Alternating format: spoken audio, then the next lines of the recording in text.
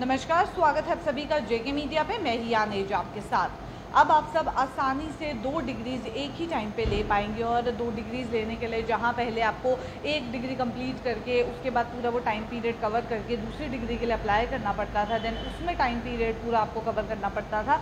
तो अब इतने साल जो हैं वो इन चीज़ों के लिए नहीं लगेंगे और आसानी से आप एक ही टाइम पर दो अलग अलग सब्जेक्ट्स में इवन दो अलग अलग यूनिवर्सिटी से भी डिग्री ले पाएँगे वो भी फ़िज़िकल मोड में। यूजीसी ने इसके चलते अप्रूवल जो है वो दे दिया है और इसके चलते यहाँ ये मैंशन करना बहुत ज़्यादा ज़रूरी है कि जैसे ही नेशनल एजुकेशन पॉलिसी को रोल आउट किया गया था, तभी ये मेंशन कर दिया गया था कि यूजीसी इस डिसीज़न के रिगार्डिंग भी कुछ कर सकती है। तो मई 2020 के टाइम के आसपास ही ये इन्फॉर्मेशन जो है वो सामने आ गई थी और इस प्रपोजल के लिए अप्रूवल जो है वो दे दिया गया था।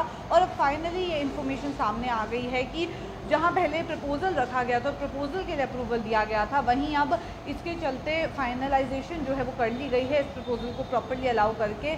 अब इन्फॉर्मेशन जो है वो सामने आ गई है और इसी के चलते, पूरे प्रोसीजर के चलते यूजीसी गाइडलाइंस जो है वो जारी करेगी। पर अभी तक जितनी भी इन्फॉर्मेशन सामने आई है तो उसके चलते आपको बता दूँ कि आप दो full time degree program physical mode में एक साथ कर पाएँगे।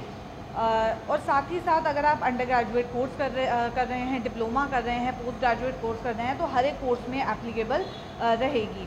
नई गाइडलाइंस ये इसलिए जारी की गई हैं क्योंकि कहीं ना कहीं इस समय जितनी भी स्किल की रिक्वायरमेंट है या कोई भी एस्पिरेंट है या कोई भी स्टूडेंट है, वो पढ़ाई करना चाहता है अलग अलग सब्जेक्ट्स में। जैसे कि आप कोई एक पर्टिकुलर सब्जेक्ट में पढ़ाई कर रहे हैं बट साथ साथ आपको लगता है कि एमबीए से जो स्किल मिलती है, उसकी भी रिक्वायरमेंट है तो आप दो डिग्री साइमल्टेनियसली कर पाएँगे और जैसे ही आप पास आउट होंगे तो आपके पास दो डिग्रीज एक साथ होंगी। तो कहीं ना कहीं बहुत अच्छा अपडेट जो है वो इसी के रिगार्डिंग सामने आया है। और साथ ही साथ बता दें कि इसके चलते अभी तक जो इन्फॉर्मेशन आई है सामने कि फ्लेक्सिबिलिटी रहेगी कि आप एक कोर्स जो है वो ऑनलाइन या मोड पे ले रहे हैं डिस्टेंस लर्निंग में ले रहे हैं और एक कोर्स जो है फ़िज़िकल क्लासेस जैसे रेगुलर अटेंड करते हैं, वैसे ले रहे हैं। अब कुछ यूनिवर्सिटीज़ ऐसी हैं जो ऑन कैंपस लर्निंग ऑफ़र कर रही हैं।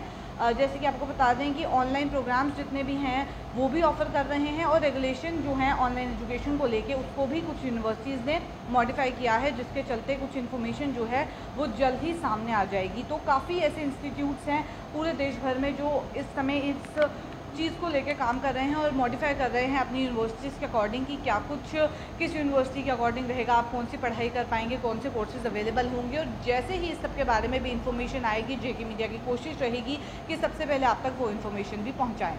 तो चलिए फ़िलहाल का बड़ा अपडेट यही। ऐसे और अपडेट्स लेके फिर मुलाकात करूँगी। अभी के लिए दीजिए इजाज़त। नमस्कार।